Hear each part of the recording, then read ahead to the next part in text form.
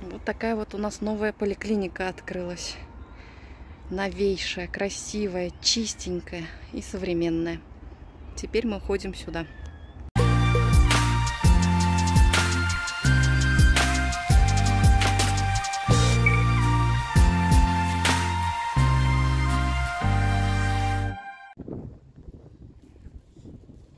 Итак, весной 2023 года у нас прямо рядом с домом открылась новая поликлиника, и мы с мамой пошли узнать, что нам надо сделать, чтобы перейти в нее. И также э, направились по своим делам э, к терапевтам за направлениями на анализы. Вон там.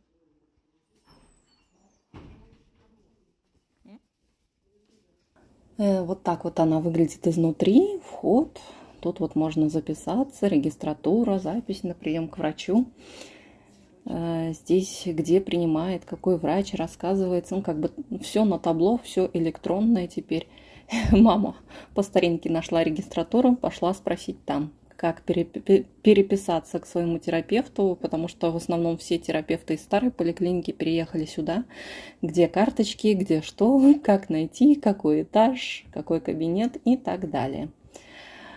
Вот, так что мы ходили, изучали новое помещение для нас и достаточно интересное. Тут же газетки валяются, домашний доктор, э, очень много всяких эм, скринов, ну то есть экранов э, и реклама, и запись, и э, различная информация. Ну и вот так вот мы пришли э, к врачу маминому терапевту. Тут очередь была, пока была очередь, мы ходили по коридорам, изучали и рассматривали, допустим, вот такие вот картины. Эм, мне очень понравилась вот эта вот картина э, Аничков мост и старые москвичи. Ну, в общем, 70-е, 80-е годы. Достаточно интересно походить, просматривать. Э, в принципе, народу в поликлинике пока нет, но вот как назло именно к маминому э, терапевту очередь. Поэтому мы сидели, ждали. А я в это время ходила и э, снимала нашу новую поликлинику. Вот так вот она выглядит. Все чистенькое, новенькое. Я уже была у пару докторов, и там вся медицинская аппаратура абсолютно новая, современная, все такое технологичное, инновационное, и прямо с радостью идешь к врачу. Вот. Ну, у мамы там свои э, болячки, а я решила записаться к терапевту, чтобы получить направление на колоноскопию. Решила проверить свою э, прямую кишку, так как одна подруга у меня, к сожалению, умерла от рака прямой кишки. Другая подруга, которая мне, кстати, посоветовала тоже провериться, э, недавно также сделала колоноскопию и обнаружила, что у нее там карциома и надо удалять эм, всякие спайки.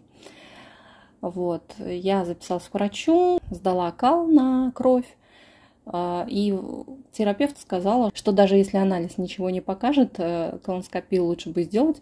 И так как э, она входит у нас, оказывается, в ОМС, дала мне направление на а, колоноскопию, спросив при этом с наркозом или без наркоза. Без наркоза ждать месяц, с наркозом 2 или 3 месяца.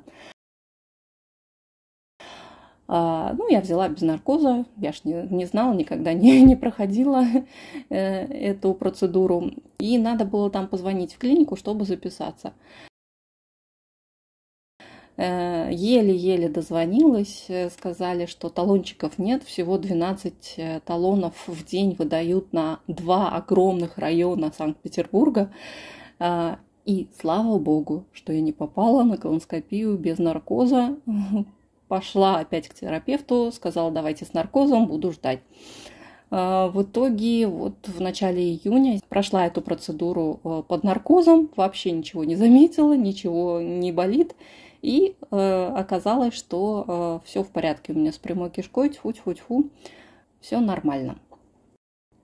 Вот так вот мы ходим периодически в поликлинику и проверяем свои внутренние органы, свое здоровье, сдаем кровь, э, проверяем анализы и теперь ходить вот в такую вот новую современную поликлинику стало э, гораздо приятнее и интереснее. До сих пор вот хожу, рассматриваю э, на разных этажах картины. Мне очень нравятся фотографии, я же фотограф. Эм, очень нравятся фотографии Санкт-Петербурга старого, который я не видела, так как э, переехали мы в Петербург 20 лет назад. 9 из которых я прожила в Лондоне. Кстати, в Лондоне надо сказать, что колоноскопию, наверное, вообще нельзя будет пройти. Э, ну или ждать придется год, два, три. Бесплатно точно не сделают.